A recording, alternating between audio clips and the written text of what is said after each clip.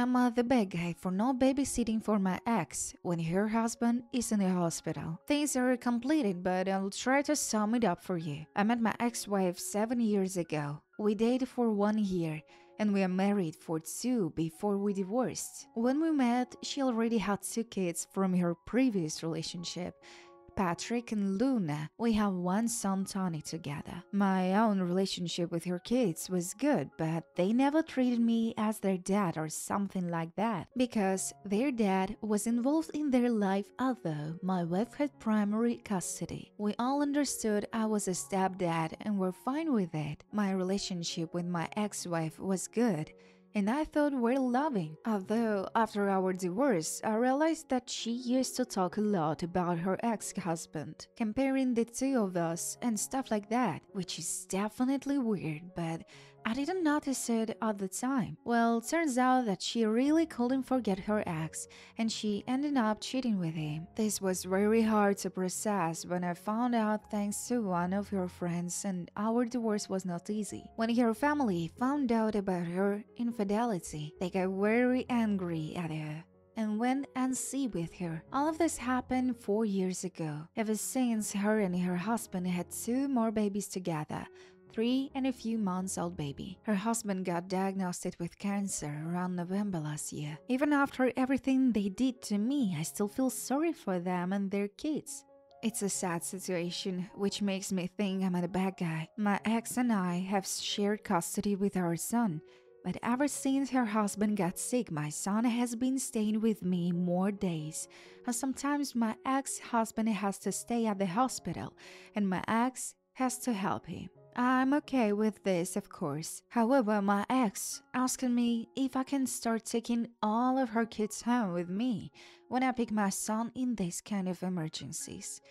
I told her that I don't want to do that, and instead she should ask a friend to take care of them or try to pay a babysitter. I pay good childcare, and I know they got not spending all the money on my son at the moment because he's mostly with me. I think it'll be enough to pay for a couple hours. She told me her friends don't want to help her anymore and her family still doesn't talk to her. I told them they need to figure out a solution. I will only help take care of my son. I feel like a bad guy to be honest. Like mm, I'm being too pity. I'm not the bad guy for snapping at my sister after she told me that I'm not leaving because I'm a widower who doesn't want another partner. My wife died five years ago from a sudden illness. We'd been married a year and together since high school, so obviously it was a hard time for me. I got through well enough, I think.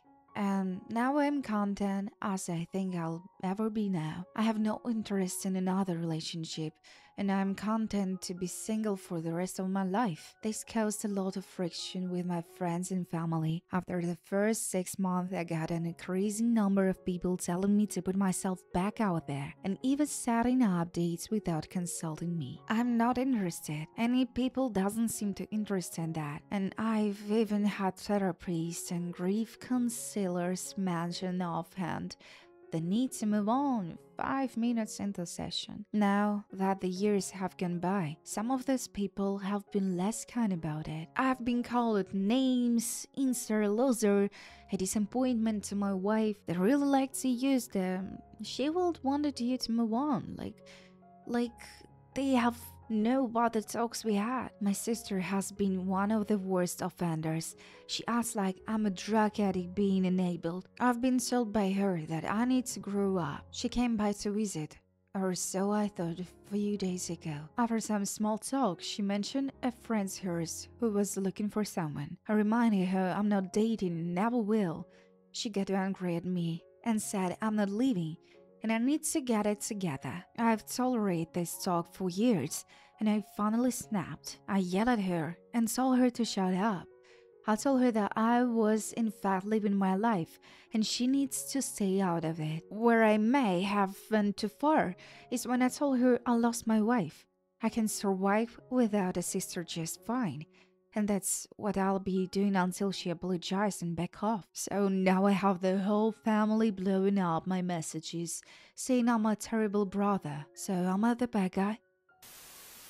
I'm at the bad guy for not hosting a party my wife planned earlier this week when I had planned months ago to only play video games this weekend. So, Zelda Tears of the Kingdom came out today on the Nintendo Switch, and I have been looking forward to and planning for this game for years.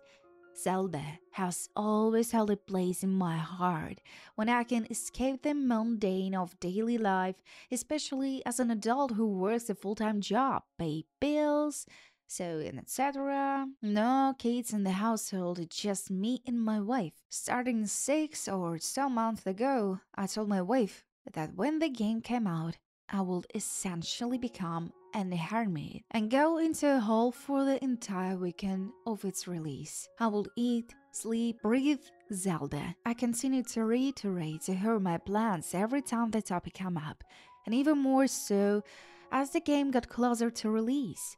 I took time off the work as I put this on my work calendar as soon as I know the launch date. Fast forward to earlier this week, I reminded her again that I would essentially disappear this weekend to do what I want to do, which is to play the new game all weekend.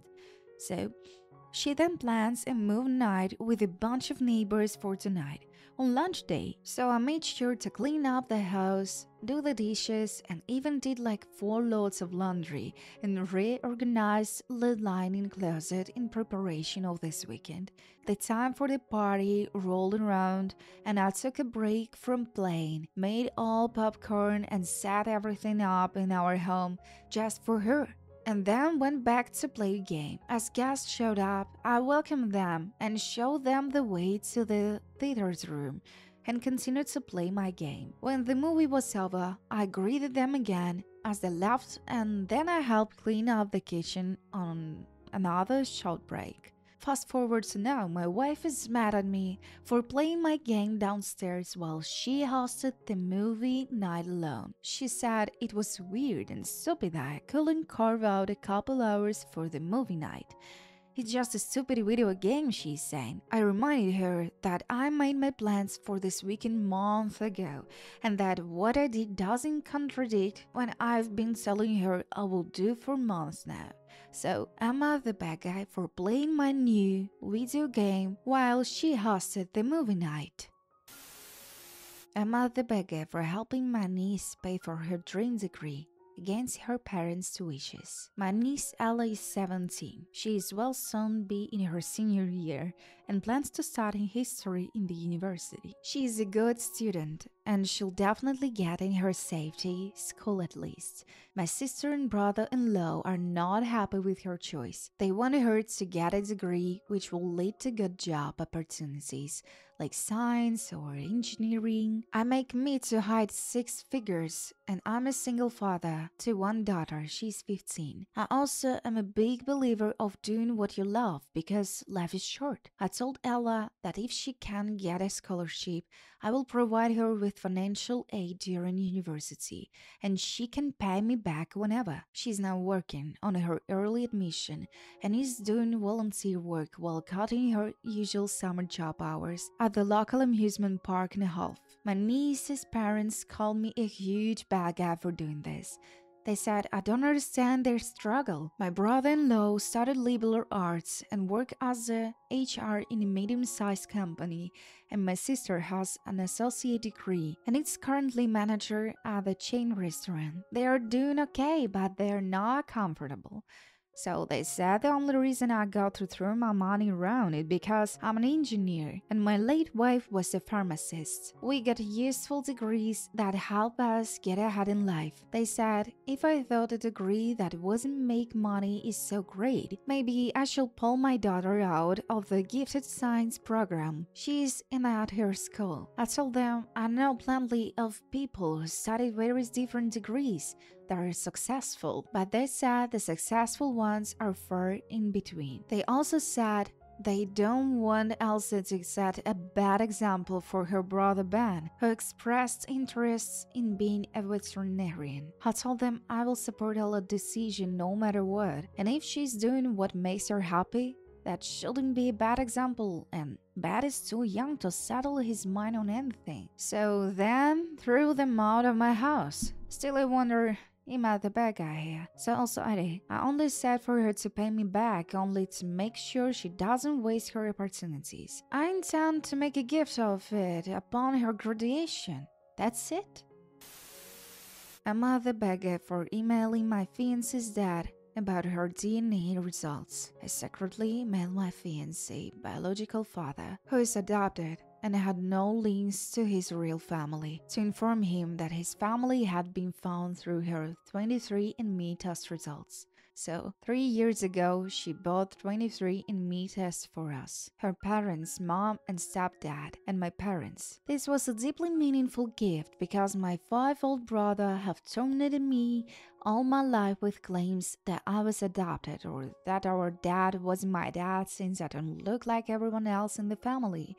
I'm tall with red hair, so it's really Hildon I want to get definitive proof that our parents are both my parents. What we weren't expected was for results for her biological father families to show up. She wasn't expecting to find many familiar connections because she's first generation American. Initially, there was a third cousin connection on her paternal side, and over the last couple of years, it's grown in a practical family tree. I know that she had stopped speaking to her dad over 10 years ago because the most he did for her was remember to call on her birthday and that's it. She explained her reasons for not wanting to give him the information, but they honestly didn't sit well with me. I tracked down her dad's email address in her contacts list and sent him the list of his own relatives.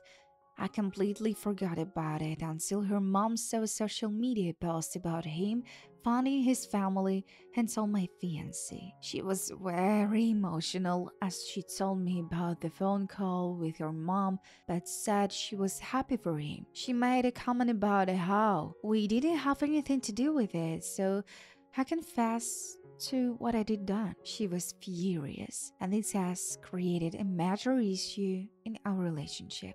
So I'm at the bad guy for sending her dad, who's adopted, her test result that identified her biological family. I'm at the bad guy for calling my friend's proposal disrespectful. Alright, so here's the deal. My friend decided to propose to his girlfriend of three years, Diana. So let's soon meet, at the bar pre COVID and were just chatting at first, but it quickly led to more, and eventually the two of them moved in together and discussed marriage. So, personally, I think they're a great match, and my friend Steven has never been happy. So, he told me that he was planning to propose to Dina, and I was ecstatic. Well, the day of the proposal hits, and I called Stefan the next day, which was last night, to congratulate him. But he wasn't happy. He told me that Dina had said no. I was shocked and asked if you know why. He said that she didn't like how he proposed. Now, here's the thing. I know he was going to pop the question, but I didn't know how he was going to do it. So he thought it would be romantic to propose at the place they met. Yes, yes, a bar. So already I couldn't kind of see why she might not like that. But I decided to ask her privately because she and I have gotten to be close, so she confided in me. That's because she told Stefan multiple times that she didn't want to have a public proposal and that she was horrified he will do that in a bar of all places and that she felt disrespect that he didn't accommodate that. I told Stefan that the proposal was honestly really disrespectful and seriously kind of messed up. To which he told me I was being an intensive bad guy and should be supportive as his friend rather than talking down on him. But I don't know if I'm wrong here. So this whole situation played out for definitely that I expected. Dina and Stefan are still living together, sort of. So Dina was upset over the whole event and has spent the past couple days mostly at her parents' house and then working it out with Stefan at night. Zina said she's working on forgiving him, but mostly has been bothered that her wishes weren't met. At this time, they're not engaged and Zina has no plans for that anytime soon. I did tell Stefan that if they stay together, I will help him plan a proposal in the future. She three of us live in Florida and we're all relatively close to beach. So I suggested to Stefan that next time he proposed he do it in the evening at the beach or somewhere private without a lot of people or noise. So Stefan also told Zina he's planning on returning the ring he bought and will be giving her some of the money to use for whenever she wants. I think he ordered flowers to be sent to her work too, so if I'm not mistaken, I guess it all worked out in the end. What do you think? I'm at the beggar for telling my girlfriend it's my car, not our car, and considering hiding the keys. My girlfriend and I are in our early 30s and have been together for 10 years. Yeah, we lived together for over 7, but we both don't see the need to do an official marriage. I've always been a car guy and recently bought a used Corvette. I'm not lauding by any means. It is used from 2008. It's not the greatest model in the world, but it's what I could afford. And it makes me happy, yeah. Hopefully, when I'm older, I can afford a nice one. This is my second car. I have my truck as my daily car. Now, I'm not one of those dictators that says my girlfriend can drive in. She's a safe driver and I trust her. My rule has just been to ask me to make sure I don't plan on using it first, so recently we've been having issues. I'm getting home from work two to three days a week to find the car gone. I called girlfriend and she wanted to take it to go to happy hour with her friends. She has a house showing, she has dinner, etc. Point is, there is always some sort of reasons she has that she's taking it for. This has begun to annoy me. I paid for it with my own finances, and personally, I don't think she has a right to it whenever she wants. I do think of it's my car and not our car. I told her as much after I reminded her my conditions, and she brushed me off. She basically said my reasons are dumb and she can do what she wants since we live together. I told her it's not hers to use freely and it's my car. She still brushed me off and saying I'm being selfish for not sharing, but there is time I plan on using it and it's gone because she took it. I shall never have that problem. Now I'm considering hiding the keys from her, or most likely just taking the keys with me when I go to work. So am I the bad guy about this?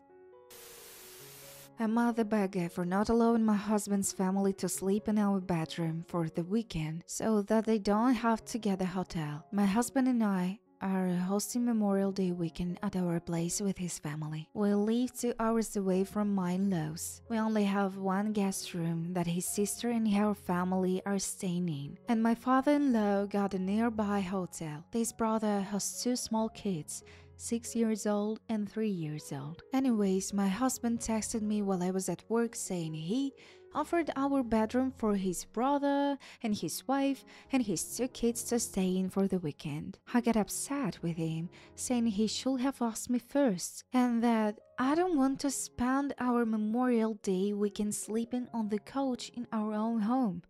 So I asked my husband to retract his offer. He apologized, saying he didn't think it was a big deal. Now I feel bad but I still don't like the idea of giving up our bedroom. I feel like a big witch now.